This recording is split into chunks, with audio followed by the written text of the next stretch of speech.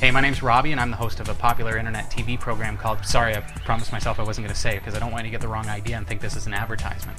So then you'd ask, well, why am I here if it's not? Well, my show gets about 40,000 viewers per week, and we find that a lot of the viewers actually use Ubuntu Linux. So since 2007, when we founded the broadcast, it, we've seen it evolve into a support forum for Ubuntu Linux. So you may ask, why is this relevant? Well, here's the thing. I'm not at all affiliated with Ubuntu, but I am an Ubuntu user. So I want to express to you that as you're installing Ubuntu, potentially for the first time, you're not just installing one of the best Linux operating systems, you're also becoming a part of this community. Now there's myself and thousands of others like me who have made it their mission to make your transition to Ubuntu Linux the best experience it can possibly be, because we believe in that community. While I believe you're going to have a lot of fun and really enjoy Ubuntu Linux, there are over 65,000 active members of the Ubuntu forums. Many of those people are like me. They're here to help, here to answer your questions or help you with difficulties that you may run into, but most of all, here to help you enjoy and get the most out of Ubuntu Linux. On behalf of myself and the entire Ubuntu community, I want to welcome you to Ubuntu Jaunty Jackalope.